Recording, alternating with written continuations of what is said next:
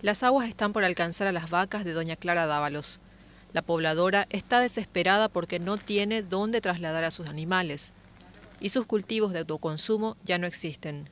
Eh, apenas por funcionario público. Entero vete ayer viví la eh, ore finca miwi la ore rumba vacacuera, ore guazú, curé. Jaco anga tu la situación porque la o la oyupipa la ore vacacuera o y pirupa no, no bueno se ve más la cambula ore sustento nada diariamente ayer porque la que es un oro ya pues más o antes a la ore plata.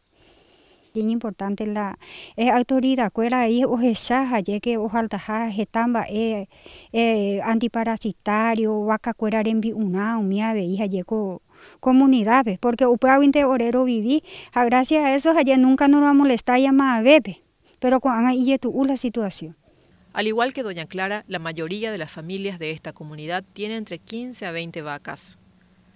Para sacar sus animales hasta el pueblo de Yabeburú, necesitan cruzar un puente de madera que hoy quedó bajo agua.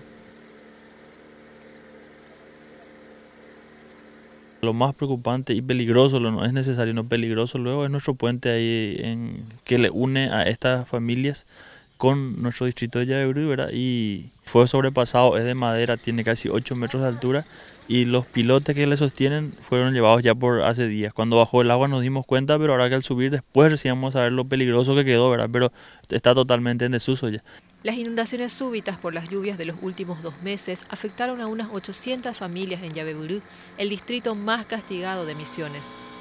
El SENAXA analiza declarar emergencia sanitaria para que así se puedan trasladar los animales a tierras altas, lo que traería un alivio a las familias.